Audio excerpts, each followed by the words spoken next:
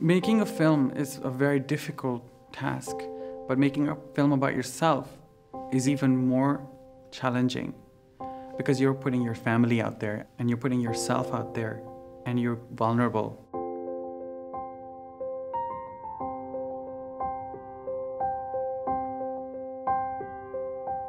My name is Arshad Khan and I'm a filmmaker and a film festival director for the Mosaic International South Asian Film Festival, which is a festival of new South Asian and Middle Eastern cinema.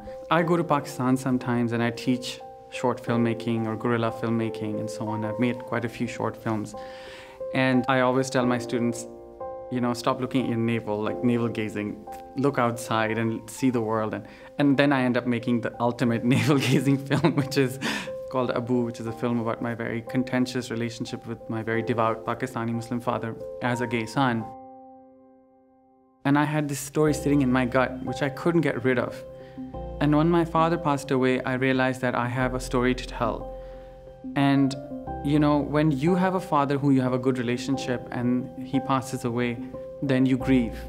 But when you have a father with which, with whom, or a parent with whom you had a difficult relationship, then you have what you call complicated grieving.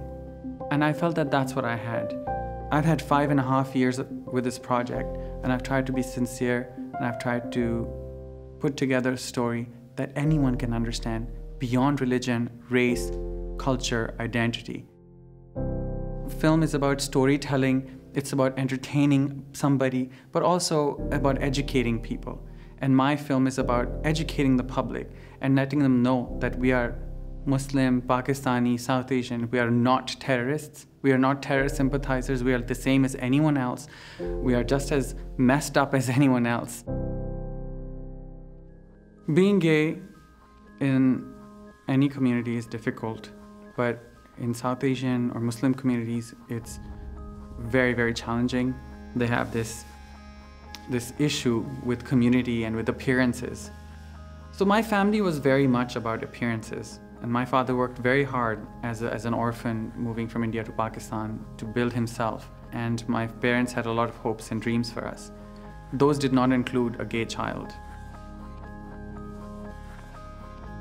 Well, when you move to Canada from any country, you you're divided. You're in between worlds. One foot is in your past life, from, in my case was Pakistan, and one foot is in your Canadian life. I wanted to be in the country I live in.